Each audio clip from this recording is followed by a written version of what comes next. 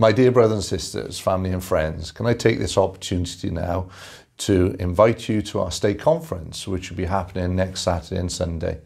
We have the uh, privilege and a blessing to have a general authority who will be um, presiding over the conference and we'll be able to hear, hear from him throughout the, the conference. Um, we recently sent out uh, an invite with, uh, with a, a scripture, if, uh, if I may, I'd like to just read that. And it's in Doctrine and Covenants, um, section 6, verses 5 to 6. And it says, Therefore, if you will ask of me, you shall receive.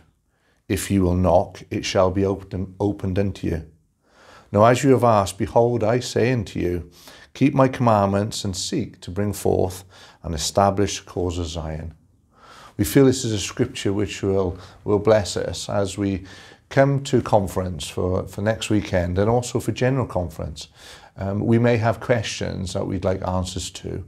Um, throughout the prayers you may offer this coming week, um, ask to receive those, those answers that you need, whether it be for employment, um, concerns you may have, or, or loved ones within the home, or within the church callings.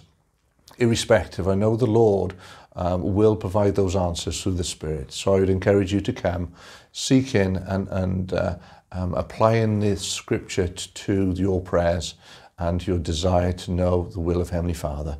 And I share these things and leave these things you in the name of Jesus Christ. Amen.